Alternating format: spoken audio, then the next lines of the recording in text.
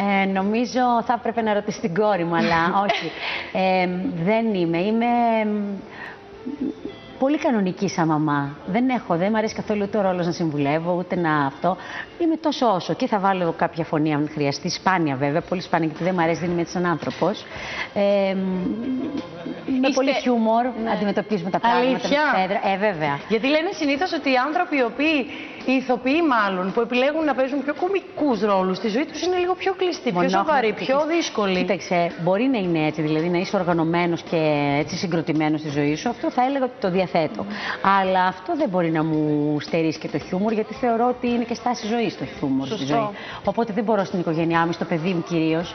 Ε, Ευτυχώς επειδή διαθέτει και εκείνη, γιατί αν δεν διέθετε μπορεί να μην μπορούσαμε να επικοινωνήσουμε. Κληρονομικό φαντάζομαι. Ναι, έχει, έχει λίγο. Είστε, Οπότε... είστε φίλες, δηλαδή τα φλερ της θα τα συζητήσει μαζί σας Ε, ή σε εκείνο το φυσικά. κομμάτι δεν θέλετε να το. Καθόλου, εκείνο το κομμάτι καθόλου, θέλετε να το καθόλου. Είναι το καλύτερό μου. Μ' αρέσει πάρα πολύ. Χαίρομαι πολύ να μου λέει όλα αυτά τα πράγματα. Θεωρώ ότι είναι υπέροχο και χθες είχα και μια εικόνα που πήγα να την πάρω από το σχολείο και μου λέει: Μαμά, βλέπεις τι ωραία, γιατί πήγε- πάει τώρα σε δημόσιο, ενώ πήγαινε σε ιδιωτικό. Είναι καημένο. λοιπόν, και πήγα να την πάρω και ήταν από τις λίγες φορές που πήγα τέλος πάντων. Και έβλεπα έτσι όλα τα παιδιά από το σχολείο και μου λέει: Μαμά, βλέπεις τι ωραία, μου αρέσει πολύ. Μου λέει: Γιατί είναι όλα, κοίτα, μου λέει τα παιδιά, ο κόσμος, τα αγόρια, τα κορίτσια. Και λέγαμε, ναι, και της λέω: «Ε, Δείξε μου και εμένα κανένα, εδώ υπάρχει, λέω Ναι. κανένα ενδιαφέρον, κάτι. Σας έδειξε; Αμέ και μου έδειξε. Ναι, Καλώ ναι. εγκρίνεται! Μια χαρά είναι. Δεν είστε από αυτές τις μαμάδε που λένε μια χαρά είναι, αλλά κάνουν και τα, τα μάτια έτσι. Δεν μ' αρέσει, όχι, μωρέ, τα παιδιά, ρε, κορίτσια, αφού το έχουμε ζήσει όλοι, αυτή η ηλικία 15-16 χρόνων, φεύγει ανεπιστρεπτή. Ναι, σωστά. Είναι σαν την άνοιξη. Περνάει και χάνεται. Δηλαδή, τι να στερήσει από ένα παιδί 16 χρόνων; Σωστό. Να του πεις τι θα κάνει όταν είσαι κιόλας κοντά του; Εγώ θεωρώ ότι δεν έχεις... υπάρχουν τεράστιοι κίνδυνοι.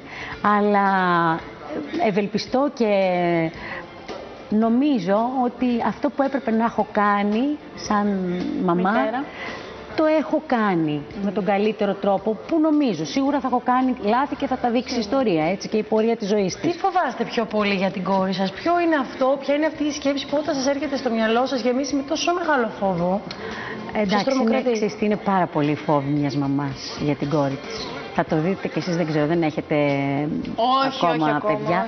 Ε, είναι πάρα πολύ παιδιά η φόβη. Δηλαδή, τι να σας πω, από το, αυτό που μου έλεγε και εμένα η μαμά μου, αυτό που λένε οι μαμάδες μας, όταν κάνεις παιδί θα το Θα καταλάβεις. καταλάβεις, έτσι. Που είναι τόσο κοινότυπο, αλλά είναι τόση αλήθεια έχει αυτό το πράγμα. Φοβάσαι τα πάντα, αλλά δεν πρέπει να το δείχνεις, δεν πρέπει να Σωστό. κάνεις ένα παιδί φοβικό απέναντι στη Σωστό. ζωή. Πρέπει να το αφήσεις να ανθίσει. Αλλά ότι φοβάσαι, φοβάμαι πάρα πολύ. Τα πάντα. Σας έχει, σας έχει πει ή σας έχει εκφράσει αν θέλει να ακολουθήσει, ή τι επάγγελμα καταρχήν θέλει να ακολουθήσει και αν θέλει να ακολουθήσει το δικό σας. Η αλήθεια είναι ότι δεν μου έχει πει για το δικό μου. Δεν νομίζω ότι την ενδιαφέρει και πάρα πολύ το δικό μου επάγγελμα, γιατί δια- έχει πολύ διάβασμα, έτσι μου λέει. και έχει πολλά λόγια. Ειδικά μετά το συμβολιογράφο που είδε τη μαμά της 70 λεπτά επί σκηνής και που μου κράταγε και τα λόγια για να τα μάθω. Και είδε τι σημαίνει αυτή η τέχνη του ηθοποιού. Ε, μου λέει, παπα, μου λέει, δεν μάθω εγώ τόσα λόγια με τίποτα. Αλλά ότι έχει καλλιτεχνική φλέβα, Φλέβα. θα έλεγα, έχει. Είναι και ένας χώρος που φαντάζομαι ότι θα την αποτρέπετε να ασχοληθεί με αυτό, γιατί έχει και πάρα πολύ μεγάλη ενεργεία πια. Ε, Θεωρείτε ότι έπρεπε να γίνει και αυτό λίγο να ξεκαθαρίζουν τα πράγματα. Είχαν γίνει πάρα πολλοί ηθοποιοί και έπρεπε λίγο να ξεκαθαρίσει το τοπίο; Κοίταξε να δεις, θα σου πω κάτι. Θεωρώ ότι αυτό συμβαίνει σε όλες τις δουλειές. Η δική μας, ε, ο δικός μας χώρος έχει κάτι που φαντάζει λίγο μαγικό. Και ό,τι φαντάζει μαγικό και ό,τι λάμπει, ε, σε προκαλεί.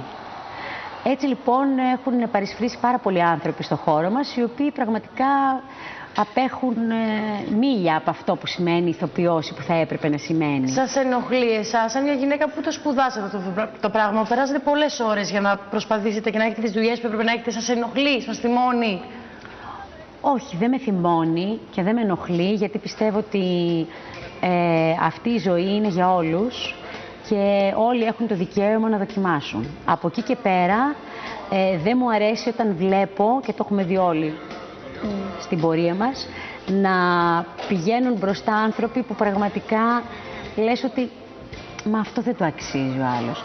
Ύστερα όμως η παράλληλη σκέψη που κάνω είναι ότι η ιστορία θα δείξει γρήγορα ότι αφού δεν το αξίζει, δεν θα πρέπει να είναι εκεί. Και να σας πω και την αλήθεια, έτσι, από την πορεία των χρόνων και από την εμπειρία, το έχω δει να συμβαίνει. Έχω δει ανθρώπους που έχω πει, μα καλά, τι δουλειά έχει αυτός ο κύριε παιδί. μου». Συμβαίνει πάντα. Και όμως. Εξαφανίζεται μετά. Δηλαδή, φεύγει. Έχει τύχει εσείς να συνεργαστείτε με τέτοιους ανθρώπους; Και αν συνεργαστήκατε, ήσασταν ε, απέναντί του θετικοί; Τι συμπεριφορά είχατε, Ε, σνομπάρατε. ίσως; Εγώ ήμ- δηλαδή ήμουν ευτυχής γιατί μ, είχα πολύ ωραίες συνεργασίες με ανθρώπους που ήταν και εξακολουθούν να είναι συνάδελφοι στο Σανίδι. Ε, πραγματικά να τιμούν αυτό που λέμε, το, τον τίτλο του ηθοποιού. Δεν έτυχε να συνεργαστώ με περιπτώσεις τέτοιες. Ε, και αν έτυχε ήταν πολύ, Πολύ δηλαδή, λίγες. πολύ λίγες και ε, μπορώ να σας πω δικαιώθηκε αυτή η σκέψη που σας έλεγα προηγουμένως. Δηλαδή αυτή τη στιγμή δεν, Δεν είναι. υφίστανται. Ναι. Να θυμίσουμε λοιπόν λίγο στον κόσμο το καταπληκτικό σας, την καταπληκτική σας θεατρική παράσταση, πού βρίσκεστε και ποιες μέρες μπορεί να έρθει να σας απολαύσει. Βεβαίως. Ξεκινάμε λοιπόν αύριο στο Θέατρο Εγνατία, 9 και 4. Ε, την αύριο Παρασκευή, Σάββατο επίσης 9 και 4 και Κυριακή 8, αυτή τη βδομάδα δηλαδή, συμβολιογράφος του Νίκου Βασιλιάδη και την επόμενη εβδομάδα, Τετάρτη, με Κυριακή πάλι στο Θέατρο Εγνατία. Τις Υπέροχα. ίδιες ώρες. Θέλετε να μας δώσετε και δύο λόγια έτσι για το τι θα δούμε. Καταρχήν είναι τρίτη συνεχόμενη χρονιά που ανεβαίνει. Ε, είναι ναι, τρίτη σεζόν, τρίτη. βεβαίως. Ε, είναι η ιστορία μιας γυναίκας. Ένας μονόλογος. Μονόλογος Μονόλογος. είναι, είναι μονόλογος, 70 λεπτά επί σκηνής. Πω, πω, πω. Μοναξιά πάνω στη σκηνή. Και τεράστια δυσκολία. Νομίζω ότι δεν υπάρχει πιο δύσκολο πράγμα με τον ηθοποιό γι' αυτό. Ναι, έτσι, αλλά και τεράστια, τεράστια γοητεία και για Ναι. τον ίδιο τον ηθοποιό να αναμετριέται Πρόκληση. και πρόκληση ακριβώς, πολύ σωστά, να αναμετριέται με τις δυνάμεις του και με τα εκφραστικά του μέσα, γιατί πρέπει να είναι στο απόγειό τους.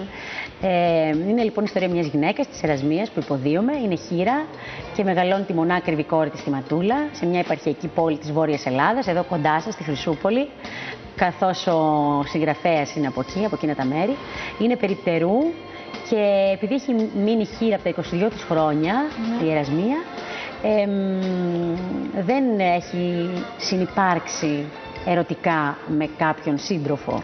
Για εκείνες τις εποχές Είναι και λίγο κατακριτέο να ε, συνεπάρξει. ακριβώς, ήταν κατακριτέο, ήταν Τι εποχή, απαγορευμένο. δηλαδή, για τι εποχή μιλάμε; Είναι εποχή, ε, έχει χάσει τον άντρα της ε, στον πόλεμο του 40, που ήταν ε, λοιπόν εκείνη 22 χρονών. Είναι μετά, α, ε, μ, περίοδος ε, 60 ας πούμε, εκείνη την εποχή. Λοιπόν, ε, μ, μεγαλώνει τη μονάκριβη της κόρη, ε, έχει ένα περίπτερο και ε, μ, η καημένη δεν μπορεί καν ούτε στη φαντασία της να επιθυμήσει τον έρωτα. Έναν άντρα. Είναι κάτι απαγορευμένο. Δεν Άσχημο υπάρχει. είναι αυτό. Ούτε στη, ναι. Ακριβώς, είναι πάρα πολύ άσχημο. Και ε, δυστυχώς όμως έρχεται η δύσκολη ώρα που η κόρη της ερωτεύεται και την ερωτεύεται ο Αργύρης, ο οποίος Αργύρης είναι ο κοντός, ο πολύ κοντός της περιοχής. Α, κάτι που θυμίζει αυτή η ιστορία. είναι μέσα από τη ζωή βγαλμένη αυτή η ιστορία. και προσοντούχος. Και ο νόν νοείται, όπως λέει ο Βασιλιάδης. Τα υπόλοιπα όμως Τα αύριο υπόλοιπα. στο θέατρο Εγνατία. στο θέατρο Εγνατία για να δούμε και να, να δει ο κόσμος έτσι να δούμε την επικοινωνία μας. Γιατί ε, η, η, ο μονόλογος έχει αυτή τη γοητεία, ότι επικοινωνείς πολύ. με το- Επικοινωνείς. Είσαι μόνος σου, εσύ με το κοινό σου. Βέβαια. Και θα γελάσει ο κόσμος, θα συγκινηθεί. Και θα δεις εσάς που είστε καταπληκτικοί Σας ευχαριστώ πραγματικά. πάρα πολύ, κορίτσια. Εμείς Θα Σας ήθελα. ευχαριστούμε πάρα Ευχαριστώ πάρα πολύ, πολύ, πολύ. που είσαστε σήμερα κοντά μας. Ήταν μεγάλη μας τιμή και πολύ μεγάλη μας χαρά. Σας ευχαριστώ εγώ πάρα πολύ. Να είστε καλά. Πολλά, πολλά.